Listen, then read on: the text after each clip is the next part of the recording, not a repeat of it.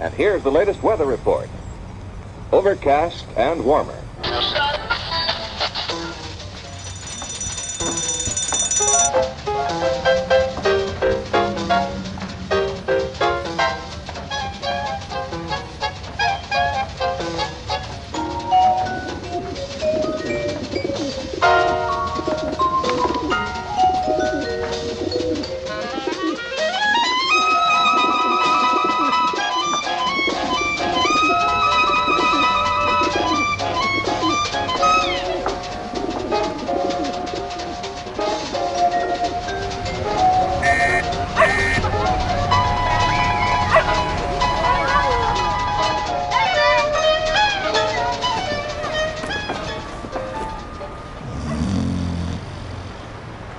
Mm-hmm.